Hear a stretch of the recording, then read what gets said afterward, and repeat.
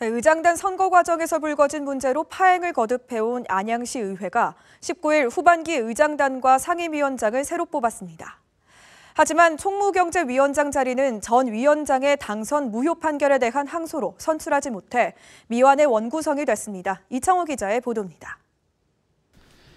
지난해 7월 안양시의회 후반기 의장 선거 과정에서 민주당이 특정 인물을 의장에 앉히려 담합했다는 의혹이 제기됐습니다. 이후 민주당 소속 의장과 상임위원장에 대한 직무 정지가 이루어졌고 법원은 모두에게 당선 무효를 선고했습니다. 안양시의회는 법원 판결에 따라 후반기 의장단과 3명의 상임위원장을 다시 선출했습니다. 민주당과 국민의힘은 교섭을 통해 민주당에서 의장을 맡고 부의장은 국민의힘에서 맡는 것으로 결정했습니다. 여야 합의에 따라 안양시의회 후반기 의장에는 민주당의 최우규 의원이 선출됐습니다. 앞으로 의정 활동에 있어 저를 지지해 주신 네, 존경하는 동료 의원님 한 분 한 분과 충분하게 소통하고 겸허하고 낮은 자세로 의견을 수렴하여 열려있는 지휘 운영에 최선을 다하겠다는 말씀 드리겠습니다.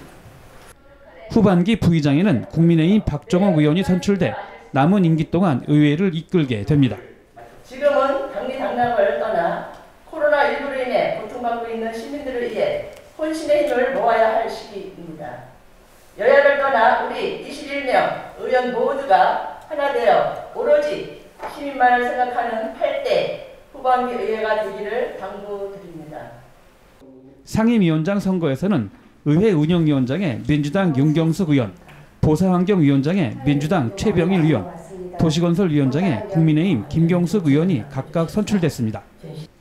총무경제위원장은 김은희 전 위원장이 법원의 당선 무효 판결에 불복해 항소함에 따라 뽑지 못했습니다.